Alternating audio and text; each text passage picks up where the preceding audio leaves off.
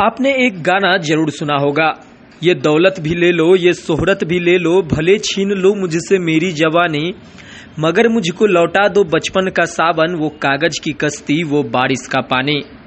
दरअसल हम ऐसा इसलिए कह रहे हैं क्योंकि भागलपुर से एक खास तस्वीर सामने आई है, जिसमें बारिश के पानी में बच्चों का मस्ती करता हुआ वीडियो सामने आया है। किसी ने सही कहा है, जैसे दिन किनारे कश्ती, वैसे ही हमारे बचपन की मस्ती। जैसे जैसे हमारे दिन गुजरते हैं वैसे वैसे बचपन की यादें, वो मस्तियाँ याद आने लगती है। लेकिन वह बचपन पुनः वापस नहीं मिल पाता है। लेकिन जब किसी बच्चे को वह हरकत करते देखते हैं तो ज़रूर हमारे भूले दिन याद आ जाते हैं।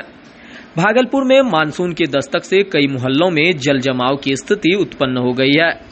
फिर क्या यह बच्चों के लिए खेल का एक साधन बन गया और बच्चे पानी में खूब मस्ती करते दिखे? कभी एक दूसरे पर पानी फेंकते तो कभी उसमें तैराकी करते नज़र आए। आपको बता दें कि टीएनबी कॉलेज के समीप सड़क पर जल जमाव की स्थिति उत्पन्न हो गई और वहाँ पर 10 से 15 बच्चे मस्तियाँ करते नज़र आने लगे। कभी साइकिल तो कभी पानी में दौड़ते नज़र आ रहे थे। कभी कभी बरसात के पानी में उम्र दराज लोगों को भी जाने में डर लगता है। जब बच्चों से पूछा गया, उसने बताया कि पानी में डर नहीं लगता है।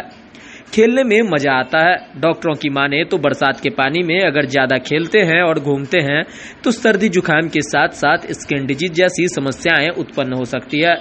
इसलिए गंदे पानी में बच्चों को खेलने से बचना चाहिए।